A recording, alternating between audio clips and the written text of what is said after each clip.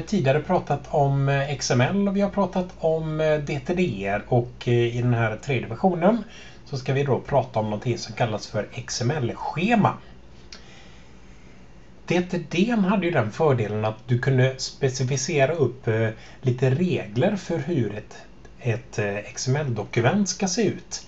Men faktum var ju att ett, en DTD kunde ju inte göra så hemskt mycket mer än så. Det är det man har XML-schema till. Med hjälp av ett XML-schema så kan man då skapa regler för informationen och de här reglerna kan man då styra till att vara väldigt, väldigt strikta.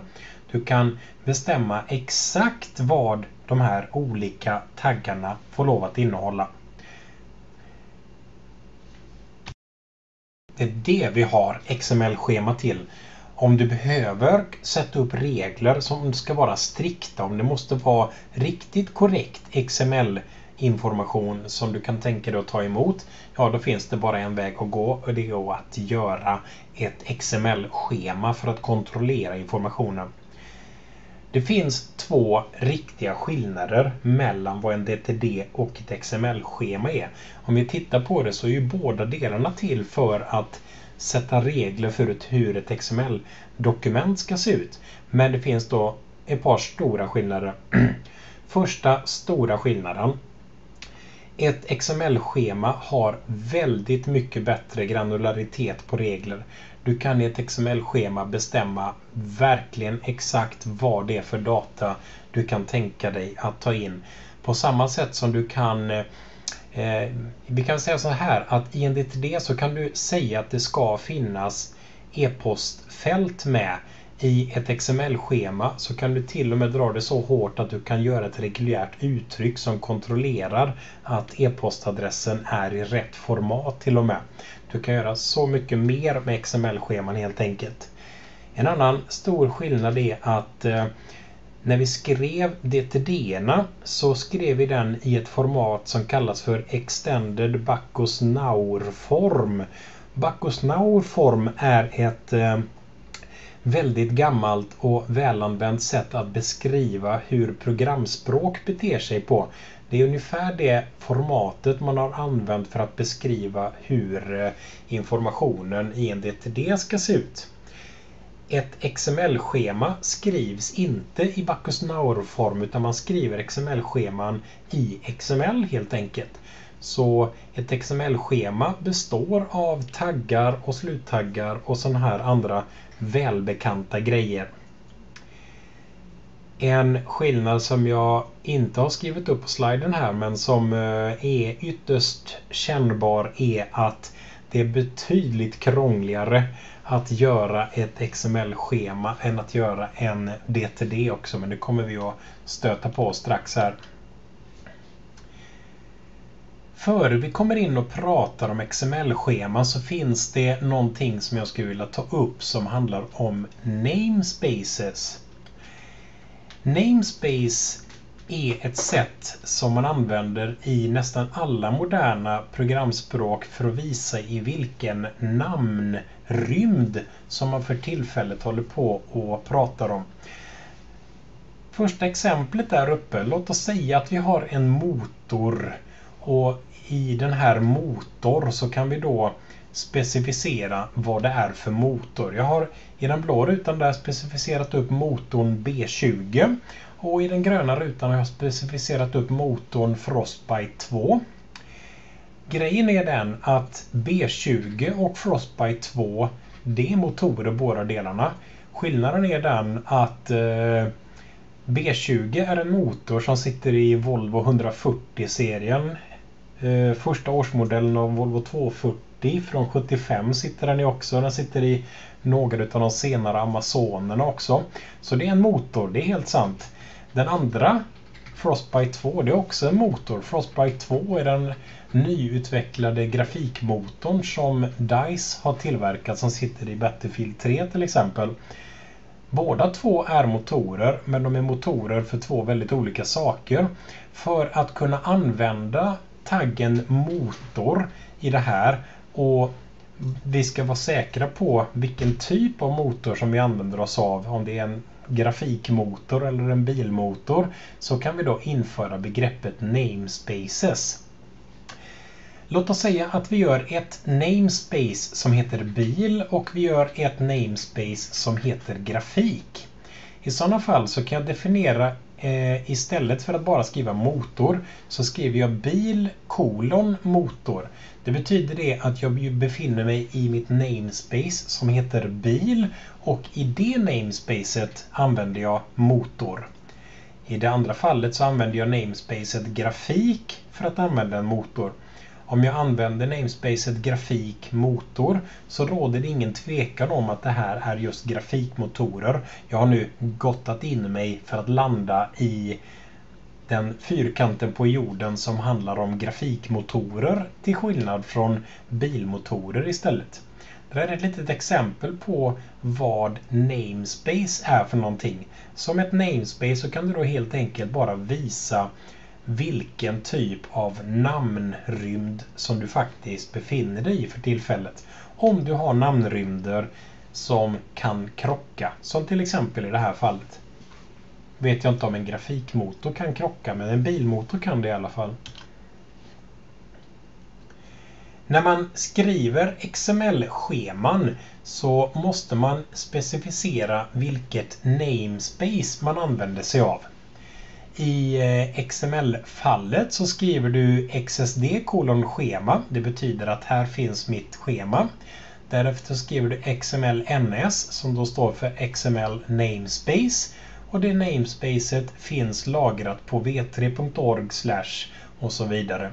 På den adressen finns XML-schemat lagrat. Det är det som är mitt namespace. Och eh, det där namespacet XML-schema är lite grann av ett standard XML-schema även om det finns andra.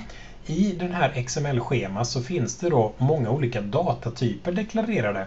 Om ni kommer ihåg så använder vi XML-schema för att kunna få en finare granularitet på data än vi hade i en DTD. I en DTD så fanns det ju så att säga PC-data. Det fanns inget mer granularitet än så.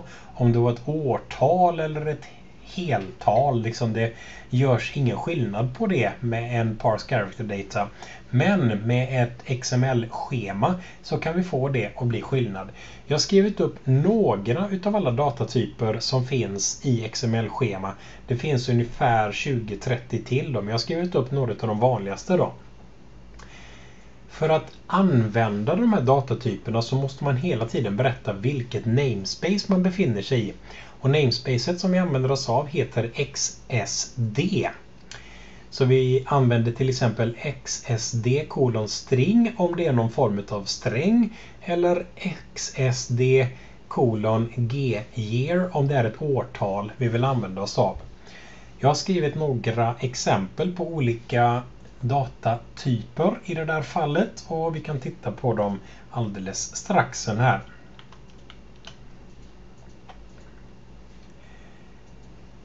XML-schemats stora fördel var ju den att vi kunde kontrollera datan som vi läser in med XML.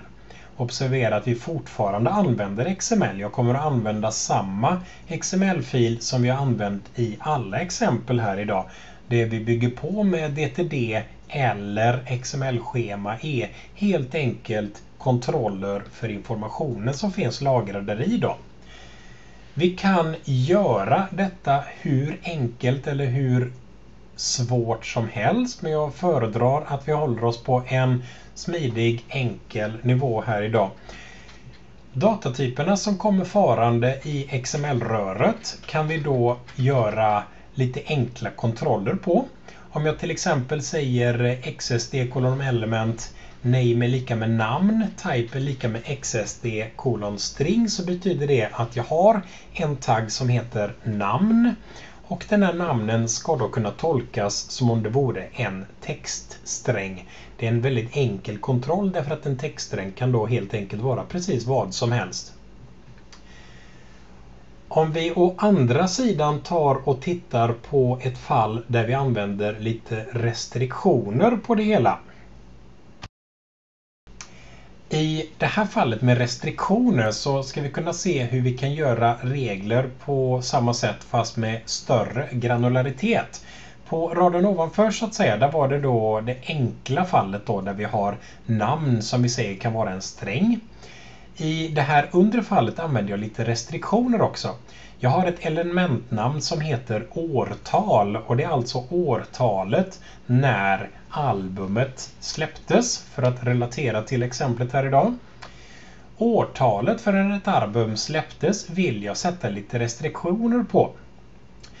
Jag ser på raden under att jag har skrivit XSD kolon Simple Type. Man kan göra två olika typer. De heter Simple Type och Complex Type. En Complex Type är en typ av årtal som, förlåt, som kan innehålla olika saker eller det kan vara olika grejer så att säga. I mitt fall så ska det bara helt enkelt vara ett årtal och det är därför en Simple Type. Inuti Simple Type-deklarationen så ser jag att jag vill ha en restriction. Och basen för restriction, för man måste alltid ange någon form av typvärde eller någon form av grundstomme som restriktionen ska bygga på. I det här fallet är det positive integer som jag använder som grundstomme. Det vill säga att årtalet måste vara en positive integer.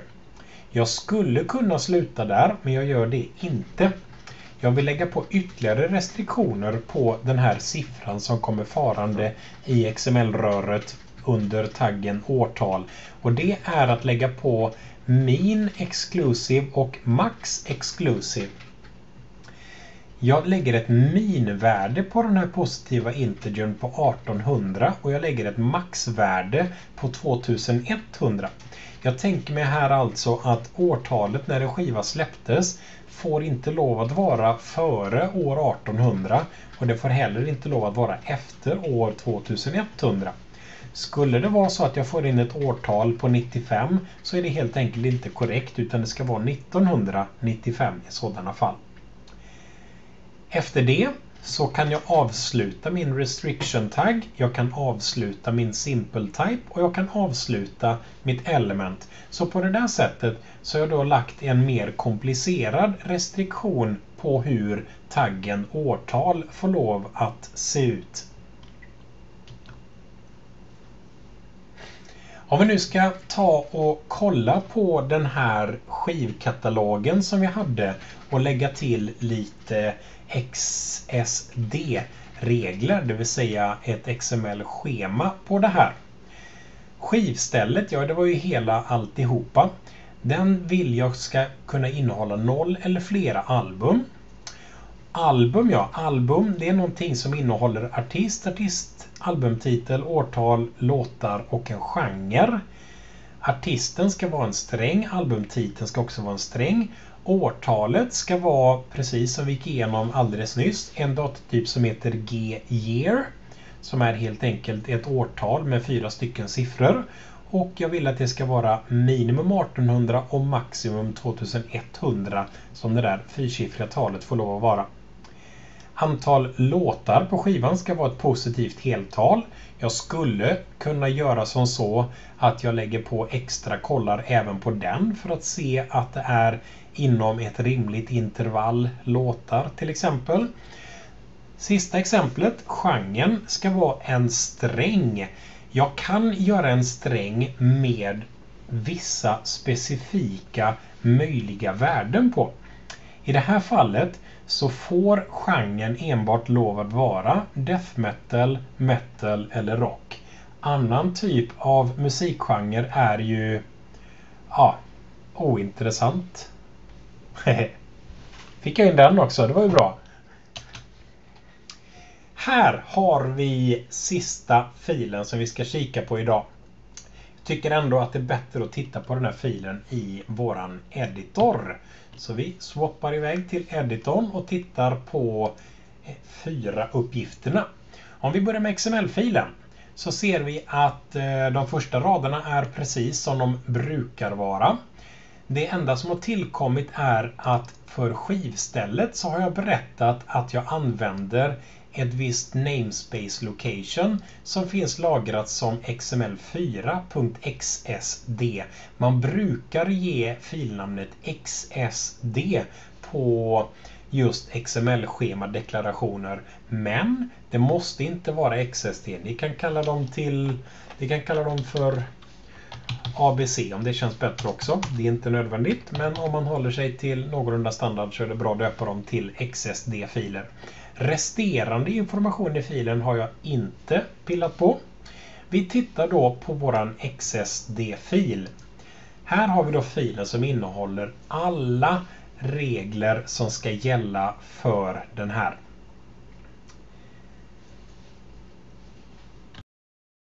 Det första som händer i den här filen är att jag deklarerar var någonstans finns mitt namespace. Namespacet, ja, det behöver jag inte skriva utan det ligger lagrat på v3.org och heter XML-schema. Efter det så säger jag att i min XML-fil som har blivit kopplad, vi kan se det här. I min XML-fil som blivit kopplad med hjälp av den där raden, så sparar det där också. I den XML-filen så finns det någonting som heter skivstället. Skivstället är som vi ser på rad nummer 3 en complex type.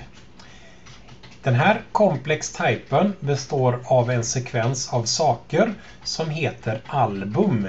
Jag kallar detta nu från och med nu för en albumtyp. Albumtypen ska min-occurs noll gånger, det vill säga det kan finnas noll stycken album i den här. Och max-occurs betyder hur maximalt många stycken kan det finnas. Där säger jag unbounded som är då ett eh, oändligt stort tal helt enkelt. Så skivstället innehåller noll eller flera stycken album. Jag kallar varje album för en albumtyp. Kan avsluta sekvensen och jag kan avsluta komplextypen och jag kan avsluta elementet skivstället vilket leder oss till den nyss deklarerade komplexa typen vid namn albumtyp. När jag skriver på rad 10 där XSD colon sequence så betyder det att elementen i XML-filen måste hålla den här ordningen. Det måste finnas artist, albumtitel, årtal, låtar och genre i den ordningen. Jag tillåter inte att det kommer in XML-data där man har bytt lite grann på radordningen här och var. Det måste vara den här sekvensen. Det säger nämligen mitt XML-schema här. Första typen av element som vi har är artist och det är en enkel datatyp som är en sträng. Även albumtiteln är en sträng. Lite annorlunda händer det på årtal som då är av typen XSD-G-Year. Eh, det betyder att eh, där vill ha ett årtal och just G-year är en datatyp som ger mig ett årtal med fyra stycken siffror. Till exempel 1987 eller 2014 eller något sånt där. Därefter så kommer vi till låtar. Och för just låtar vill jag ha lite restriktioner. Grundpelaren för kontrollen ska vara att det är en positive integer, det vill säga att det är någon form av positivt heltal. Jag har satt ett minvärde på en låt på en skiva och ett maxvärde på 300 låtar. Så om det kommer en skiva med 310 låtar på så kommer det här inte att passera mina kontroller. Jag kan då avsluta Restriction, Simple Type och Element och komma fram till sista elementet. Sista elementet är genren och i genren så använder jag, även, använder jag även här en grundrestriktion som är sträng. Jag tillåter i det här XML-dokumentet inte alla typer av strängar vad det gäller genre. Det finns bara tre stycken olika typer. De har jag namngivit som XSD colon enumeration. Dess value säger vilka typer av genre som är då giltiga enligt det här XML-schemat. Om eh, det till exempel kommer in eh, en låt som inte tillhör någon av de här genrerna, ja då är inte längre XML-schemat uppfyllt och jag blir meddelad om detta.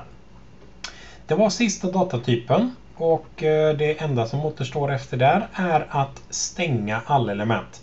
Det vi kan se på det stora hela av XML-schema är att skrivsättet för ett XML-schema är precis som det är för vanlig XML. Vi använder hela tiden taggnotation så att säga för att börja och sluta saker och ting. En annan sak som slår en är att vi använder i väldigt hög utsträckning av namespaces. XSD kolon till exempel står det på nästan varje rad här och det betyder det att vi hela tiden använder oss av det här namespacet som har blivit deklarerat längst upp i filen som XML-schema. Hur den här filen då ser ut? Ja, dags att titta på den i webbläsaren. Åh, även här var det ett fel. Just det, jag har inte berättat var eh, XML-schemat finns någonstans. Vi tar och paste in där. Så. Nu berättar jag att eh, namespacet finns på den där adressen till XML-schema och mitt schema eh, min XML-schema XSD ligger på den där adressen. Nu borde det väl fungera lite bättre. Sparar och testar. Och vi ser att det nu kom ut rätt och riktigt. Som ni ser så har jag gjort några små förändringar i även eh, CSS-filen. Men som sagt, det är inte den vi är intresserade av idag utan det är ju våran XSD-fil som är intressant. På det sättet så kan vi då koppla även ett XML-schema till vårt XML-dokument vilket gör att vi får då en väldigt hög granularitet av kontroll på filen. Nu är det så, nu är det så att... Eh, mm, så ja. Eh, jo, XML som sagt. XML finns överallt. Tills för eh, inte så hemskt länge sedan så använde Microsoft till exempel ett väldigt hemligt och inlåst format för att kunna spara sina filer. Eh, de har nu gått över till eh, XML så Word-dokument är i XML-format och eh, de är helt enkelt bara zippade. Jag tänkte vi skulle ta och titta på ett exempel på det där. Jag har här startat Word och eh, skriver in texten min rubrik och min lilla text och så förändrar jag den där raden att vara min rubrik. Så där ser mitt dokument ut. Vi tar och sparar dokumentet på skrivbordet som eh, Word-test. Och vi ska nu titta på den där filen Word-test.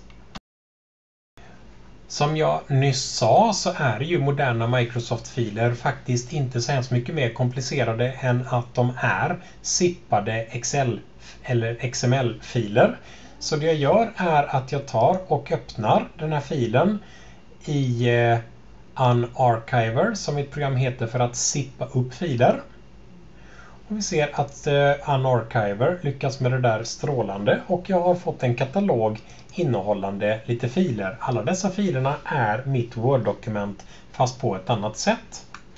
Jag ser här att jag har lite XML-filer. Om vi går in i katalogen Word så finns det precis överallt här XML-filer som beskriver olika saker. Om vi öppnar filen document.xml som förvisso ser lite komplicerad ut. Som vi ser så har vi till exempel väldigt många olika namespaces som används här och vi har precis som i vanlig ordning länkar till var någonstans man kan hitta namespacet för det som används här. Det jag ville komma till är att vi i den här filen enkelt och klart kan läsa ut min rubrik och min lilla text. Allt är omgärdat av XML-formaterade taggar Och eh, vad taggarna heter ligger öppet och fint dokumenterat på diverse webbsidor här och var för att kunna se var någonstans som eh, specifikationerna av dessa dokument finns. Ytterligare ett exempel på var någonstans vi kan hitta XML-filer är ju naturligtvis i, eh, i eh, RSS-strömmar. Om du som webbprogrammerare ska tillverka en RSS-ström till exempel så är det då naturligtvis i XML-format som alla dessa RSS Läsare vill ha sina nyheter.